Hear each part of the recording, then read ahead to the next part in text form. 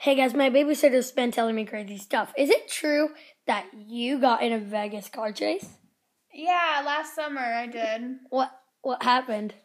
I was just driving and the cops were following me. I don't know why. Maybe because I was going like 120 miles per hour and I just robbed a bank, but And stole a slot machine? yeah, two of them.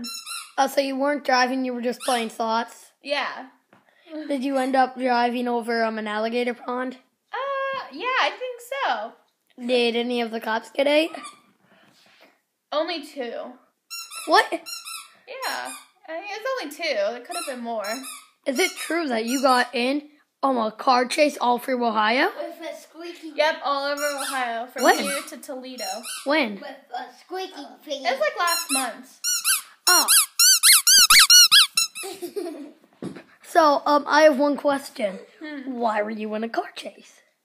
Um, I don't know. There's lots of reasons why.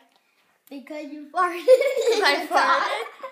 Oh, yeah. Yeah. Did, how many banks did you rob that day? Ten. Was it 10? yeah. Were you with me? No. Oh. I watched it on TV. Oh, okay. It was 10. I was thinking 9, but I forgot the last one. Did you rob Kosai? no, that's next week. What? Did you rob the boon shop? That's the week after. Did you rob uh, the headband store? no, I actually bought this from Walmart. I didn't steal this. Did you steal your But you're not going to tell the cops, right?